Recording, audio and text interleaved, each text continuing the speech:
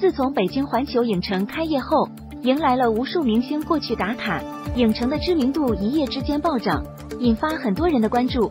二月二十三日，杨紫在社交平台晒出多张美照，配文：“我也是去过环球影城的人，相比其他明星，杨紫去环球影城算是比较晚了。”当天，杨紫身穿白色长款棉服，戴着可爱的针织帽，脖子上还系了一条粉色毛巾，显得非常活力，少女感十足，完全看不出已经三十岁了。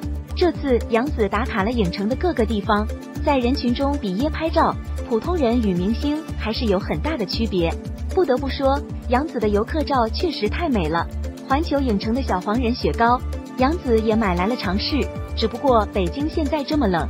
还敢吃雪糕，也是相当厉害了。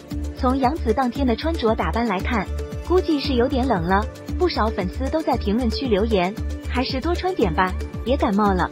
随后，杨紫工作室晒出了视频，透露去影城打卡没有攻略可言，就是要把所有的项目都玩个遍。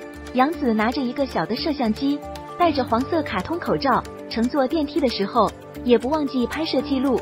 虽然杨紫戴着口罩，却化了精致的妆容，腮红、眼影、口红，样样都没落下。